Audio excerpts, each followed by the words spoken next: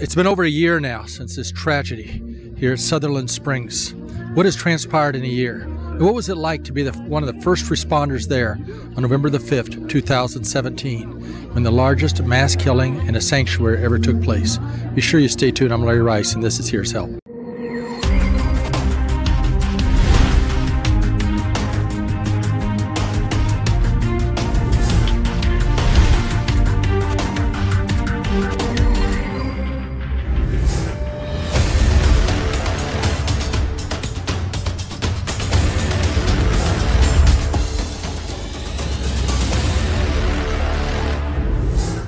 In Sutherland Springs. You were on the first responders here. Is that correct? Yes, sir, it was. Uh, tell everyone your name. My name is Angie Adams. Angie, a whole lot's taken place in a year since that tragedy, hasn't it? Yes, sir, it has quite quite a lot and stuff. I guess when you first arrived, what did you encounter? What did you see? It was chaos. Yeah. It was very good. My partner and I, um, we went straight into the church, and it was just um, it, was, it was a war zone and stuff. I've never I've never been in the military, but if that's what it's like, that's what I would say it was was like. People were dying. People It was were it was uh, people were just screaming. Uh, there was a lot of people that were actually praising Jesus. That was Wow, what stuck in in my mind. middle of it Yeah. Um, so it was just crazy. It was just. Um, but we went in there and we did our, our job as we triaged and got the patients that needed care, got them out, and took care of everybody that we the best we could and stuff. Let- Let's go in for a moment, okay? My name is David Colbath, and I'm 56 years old, and I've been a member of this church since 1993. Um, November 5th was a an eventful day for us all. Um, I was in the back of the church. We sang our first song, and we're fixing to do mess- messages and program, and um, shooting started in the back of the church. We thought it was I thought it was firecrackers, and then when the next rounds came in, I knew it wasn't. When the third set of rounds came in, we're all hitting the floor and crawling all over the place, and I happened to got shot in the arm, in the, in the right arm. And some of us crawled under the pews, and it was frightening. It was it was very frightening.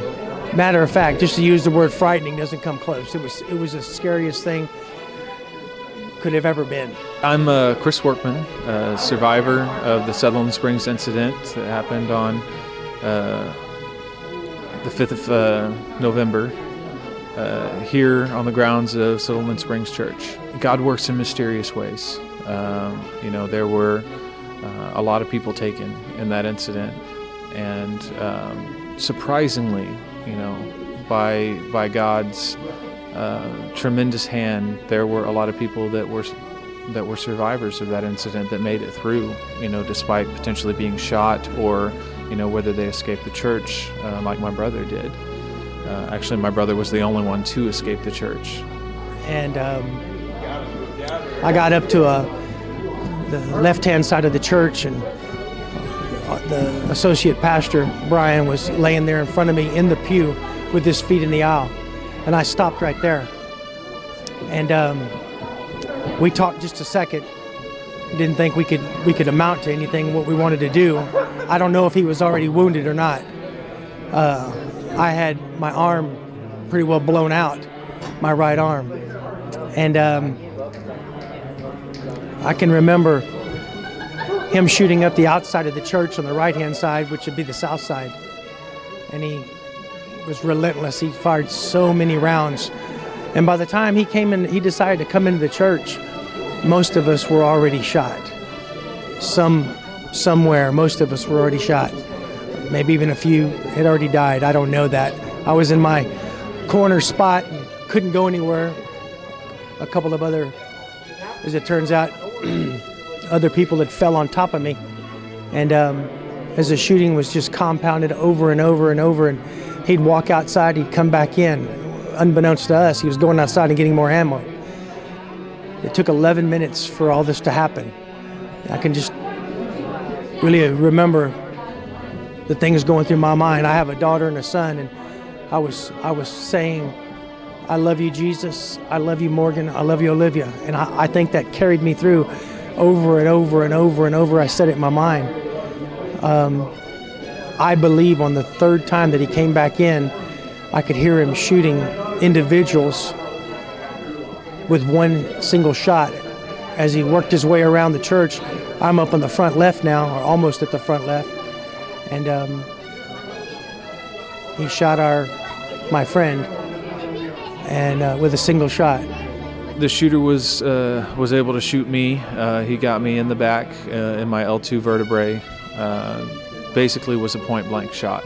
Uh, I was hiding underneath the pew, but I'm a relatively big person, so I, I didn't quite fit underneath the pew.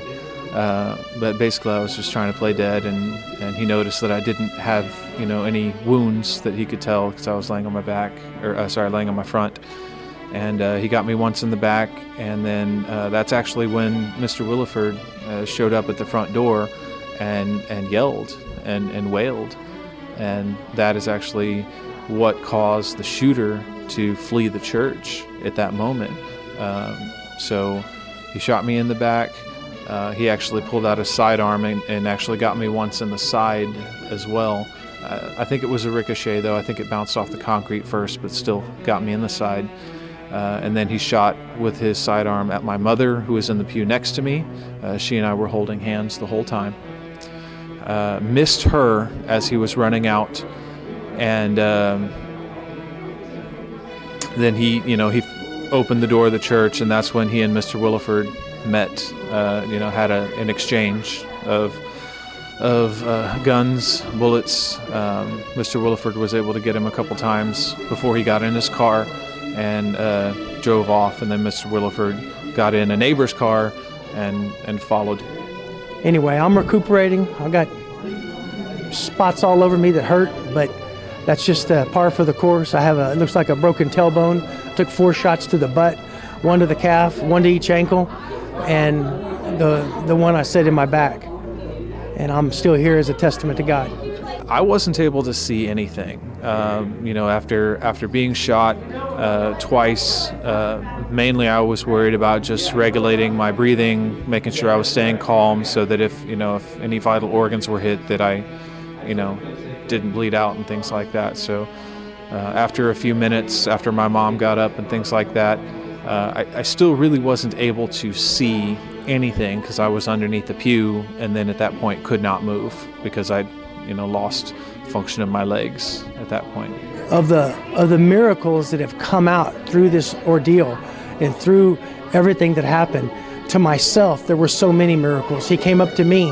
I'm laying on my I'm laying on my stomach with my arms out and I'm just bleeding profusely and uh, double arteries were shot out so I, I was just bleeding as fast as my heart could pump it out and um, he came up to me and shot me square in the back. And I felt I felt the bullet. But I felt the bullet, but it didn't um, it didn't kill me. That was a miracle. The people that lived were a miracle. The people that died were a testimony for God. They were a tremendous testimony. My pastor said all my worker bees have been killed. All of them. He's hurt. And I don't know if God needed worker bees in heaven or what it may be, but that's where they're at. And I don't know what this particular religious faith is that you're talking about, but it's our belief that our last breath here, but our next breath is there in, in Christ. And that is our belief. God did not leave us, uh, He is still here. Um, and he's among us, and you know his name still be praised. What thoughts went through your mind when you walk around in there?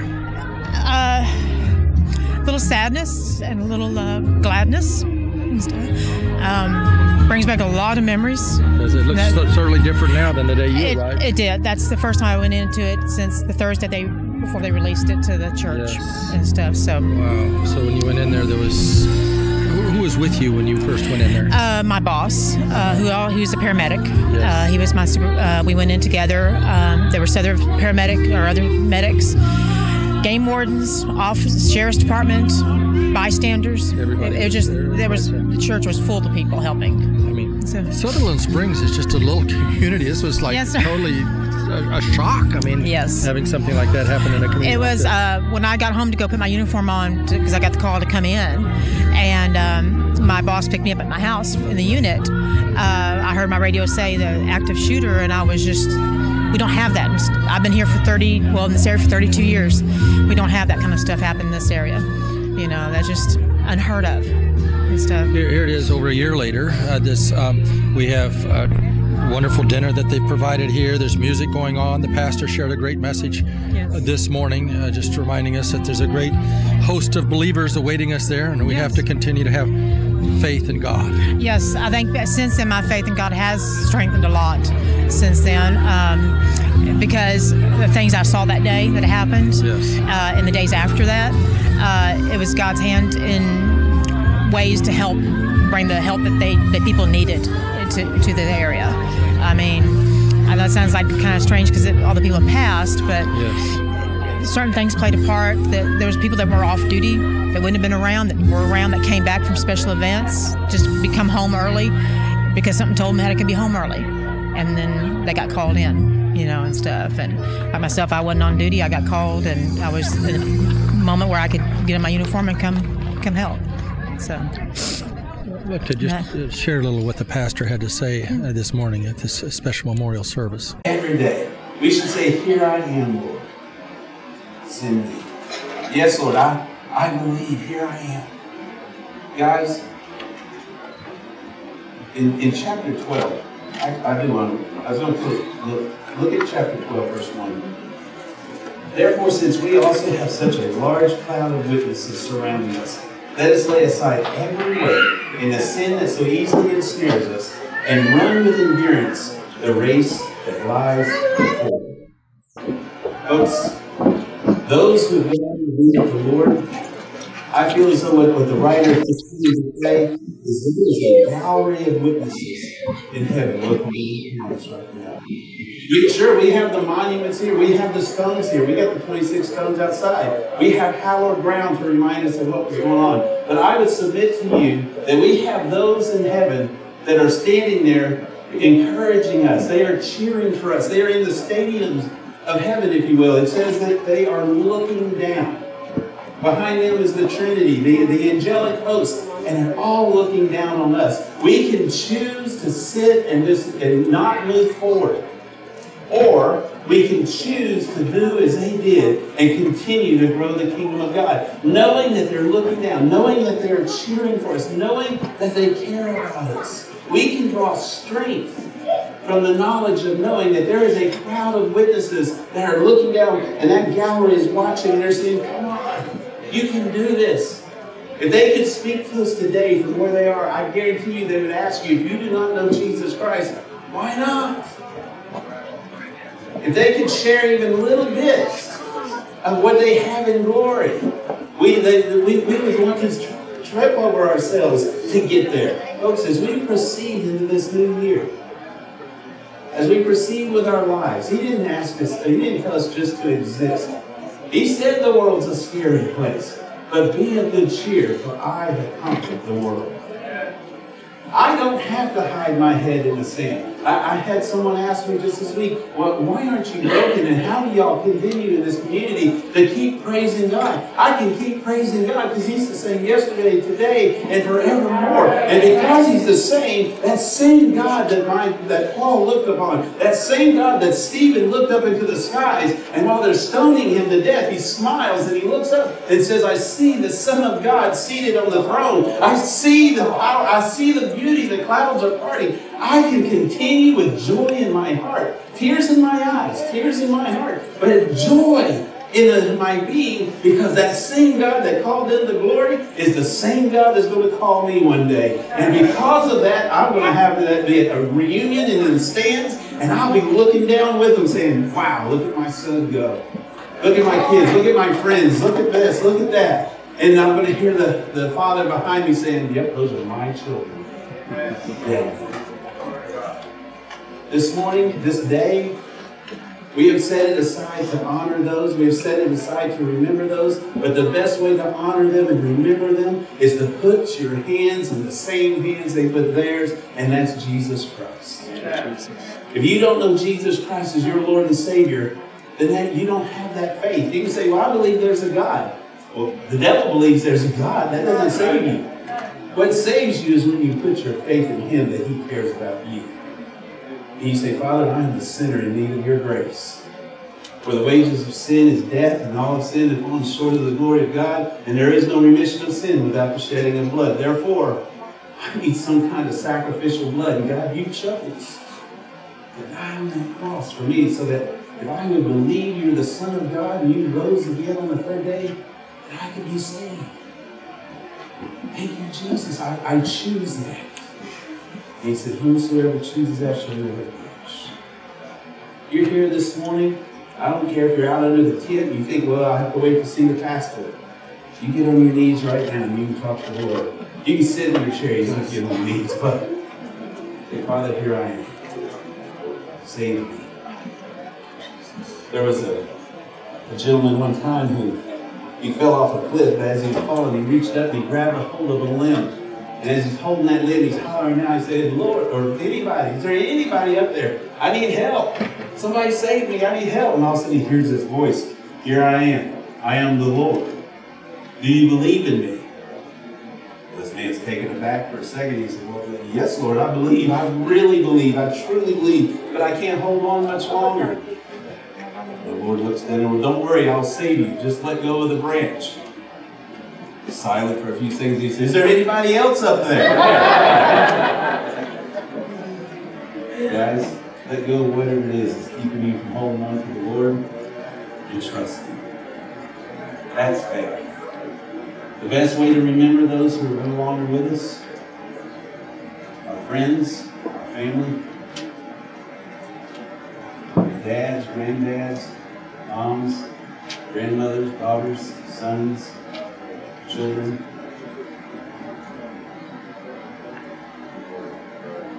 All those that may not be with us anymore, the best way to honor them now is to trust in as their. I don't believe in closing any service without giving you that opportunity to make that call. If you do not know Jesus Christ as your Lord and Savior, you would like to make that decision today, I want to give you that opportunity. I'm back with Angie Adams, and Angie, tell me a little about what is it being a, a paramedic in this particular area? What, what does it consist of? What do you, well, you do? I'm, a, I'm an EMT. I'm a lower patch of um, 2 patches behind a paramedic. Yes. But we, I work, our service works at a 911 service Yeah. in this area, and so we see anything from car accidents to uh, heart attacks, anything. It's if you call 911 needing an ambulance, uh, my unit is the ones that come out to help. But you never saw anything like that on this day. Nothing. I've seen. I've been doing this for ten years. My husband was in it for twenty, so I've been around the Yes. Mm-hmm. law enforcement, all this area, and never have ever seen anything like this. No, sir. Nothing Nothing. like nothing even- even touches this. Uh, I've done. interviews with an awful lot of the family members. I, I've talked to them. I've seen it, and wow, I think of one lady whose grandchild was she was protecting her, got shot. Her Mm-hmm. husband was killed, and she was wounded. Uh, I I think of others that are wounded, still in wheelchairs. Yes. Um,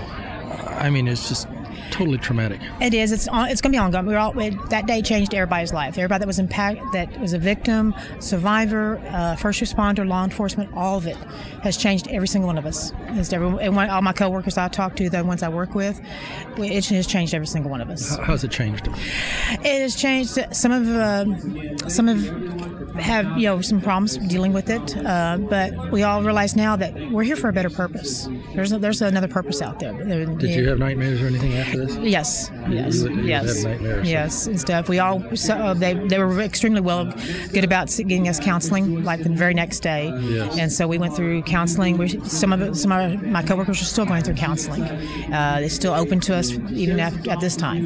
So it's uh, A little church, about 75 members, 26 killed, Mm-hmm. 23 wounded, I believe, yes, sir. and uh, you know, just a few, a few survivors. Yes, sir. It's just it's something that you can't explain. And the only way I look at it is God had a reason. I, I, I say it like that, maybe sound tacky, Yeah, but. I think it, I think God had a reason for things that happened.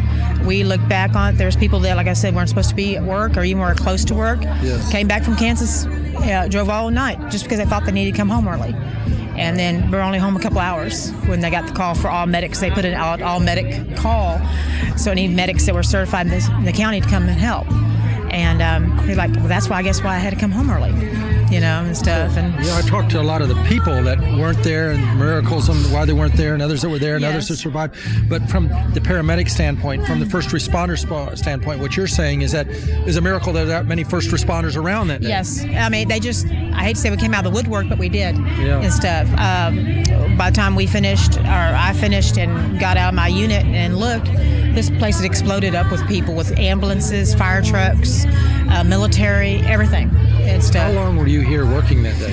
I uh, got here right after the first call, and I didn't leave the area until around 11 o'clock that night, Wow, first, that first call was around what 11 that morning. about 11:30 that So morning. you, you had 12 hours. What Mm-hmm, yes. did you do during that 12 hours?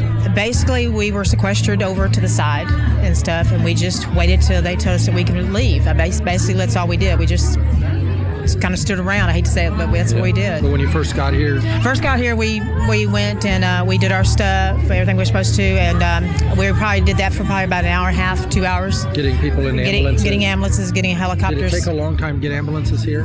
not necess- no, not really. Uh, because when we got here, there was already an ambulance on scene. Yeah. When ours got there, and then the other ones just started pouring in. Started pouring in Yes, sir. far away San Antonio. Yes, sir. We had them from Schertz, San Antonio, Live Oak. Um, we had um, Acadian. We had a whole, or sorry, we had about 70, 80 ambulances out here. from like a 50 mile radius. Mm-hmm. yes, sir. like. We have a deal called STRAC Yeah. that uh, they. It's like a. It's our who governs us, We're not in this area, and we just they were mass. Uh, email or mass uh, radio communication went out and they have it to where uh, if like a disaster happens like a hurricane whatever they deploy different uh, law enforcement ems fire and they just all go straight to that scene It's been one year, and that's what we're at is a memorial a year later uh, today. Hundreds of people are, are gathering. Uh, they've had music, they've had a great meal. The pastor shared a message. Governor will be speaking later. Uh, but a whole lot of lives have changed within this past year since yes this happened. Over yes sir it has ago. yes very much Oh, so stuff. You said, as far as your life is concerned, it helped deepen your faith. Yes, sir, it did. Um, it just it made me realize that God is out there, that we have a purpose. We may not know what our purpose is, but He knows, and He's guiding us in that way. He just we don't realize it, and um, so we just have to have faith in Him that He He knows what we're doing, and what, where our life's going to go. When you went walking to that church that day, again, it's totally different than it looks today. Than Yes, sir. Yes, sir. Totally different. Yes, sir. People under the pews, people wounded, people that have been uh, uh, killed. Yes, sir. My boss asked me because I've known my boss for like 20 plus years. He Yeah. goes, "Where were you?" And I was like, "Well, when I walked in, I said I got pulled because we're, we're told to stay with each other, you know, to, and stuff. Uh, we have each other's backs." And I said, um, as soon as I walked in, I got, I said, "I got pulled." He goes, "What do you mean got pulled?" I said, "I literally got pulled away. Somebody was pulling on my pants leg. Somebody was pulling on my shirt. You know, just literally pulling me to the other side of the church." People wounded, wounded people. Yes, sir. People whose loved ones have been killed. Yes, people were just yes, just it just anybody needed help. Yes. Just- and, and he needed help. So that's and that's what we were there for. So you'd put them on stretchers. What else? Did, and Uh, we used our backboards and stuff. Is mainly what we Uh-huh. used and stuff. Um, I just got them outside here, and, and it's not like you see on the TV. Definitely, it's, that's that's glorified compared to what this was. what, and stuff. it was. It's just it's like I said. It's I've never been in a war zone, but that's what it was. That's you know. Um, our military that's been over there in Iraq and uh, Afghanistan, they've seen stuff, and unfortunately, I guess I've seen some of that that I won't want anybody else to ever see and stuff. So it's just, it's just how you can go with how you can tell without going into detail. I mean, it was just crazy. It was chaotic. And you never tripped. It'd be in a little church like this. No, sir, and that's uh, that was all the points that we made afterwards. We were talking to each other, checking on each other Yeah. right afterwards when we could, you know, get back as a group and find each other. Yeah. Like, you know, we none of us would ever thought in a little church. little You church. know, and my boss even said, um, he goes, "How can I send my girls to church?" The next, you know, on Wednesday, to, Yeah. and he goes, and we did. We, we all found a way to go to enter. But the first time I went back into my church, uh, I had to kind of look around, and of course our security over in my church, you know, doubled and, and stuff. And my son's church, the same thing. And it was kind of like we all had. We were kind of apprehensive at first because you, you thought you're safe here, you know. But so if God's going to call you home, I guess it's a good it's place to everywhere. Well, yeah, and that's another thing. He's he's going to call us home wherever we're at. When it's our time, that's and I, you know. The pastor was sharing God to call us worker bees home, people ready to go be with Jesus. Yeah. The rest of us got to get ready, don't we? Exactly. we, we don't do. know the day or the hour. No, we don't. He's the only one that knows and stuff. So we have to have our faith in Him. So rather than living in fear, let's move into faith. yes. Thank you for sharing with us, Angie. Thank you. And continue to keep the people in Sutherland Springs in your your prayers. Their whole life is totally changed. since this transpired. But again, it's been an event that's helped draw people, including you, closer to the Lord. Yes, sir, it has. Yes. And what Satan intended for evil, God has turned around for good. Exactly. I think it's like our. I don't know if the sign's still up, I, but it said evil did not win. Evil did not win. and so that. so- Evil did not win in Sutherland Springs, and won't win in our communities if we continue to keep trusting God, knowing that He's promised He'll never leave us nor forsake us.